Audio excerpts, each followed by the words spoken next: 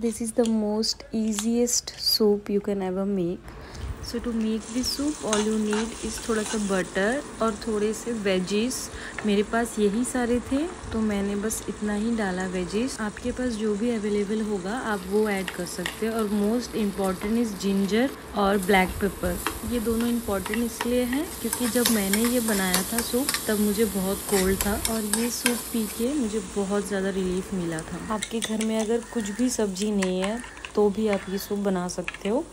आपको बस टमाटर और प्याज चाहिए, उसे आप अच्छे से फ्राई कर लीजिए। उसके बाद आप इसमें पेपर डाल दीजिए, बहुत सारे पेपर अगर आप बीमार हो तो लाइक मी उसके बाद आप इस वेजिस को अच्छे से फ्राई कर लीजिए, उसमें एक गिलास पानी डाल दीजिए। उसके बाद उसी पानी में थोड़ा सा कॉर्न स्टार्च को पानी में मिक्स करके, वो भी उसमें डाल दीजिए। तो आपका जो सूप है ना, वो थोड़ा गाढ़ा बन जाएगा। उसके बाद देन आप अच्छे से मिक्स कीजिए।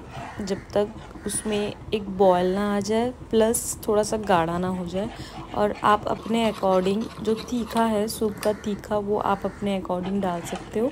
मुझे थोड़ा कम लगा था तो मैंने डाल दिया।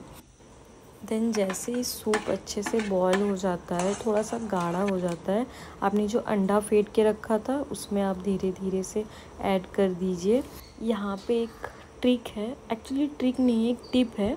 अगर आपको अंडे थोड़े से बड़े बड़े चाहिए तो आपको ना इसे बहुत धीरे धीरे से इसको मिक्स करना है, ताकि वो अंडे के पीसेस आपको खाने के बीच बीच में आए। मतलब मुझे एकदम ही अंडा एकदम मिक्स हो गया उसमें, वैसे मुझे पसंद नहीं है। तो थोड़ा अंडा का जो पीसेस है, वो आना चाहिए।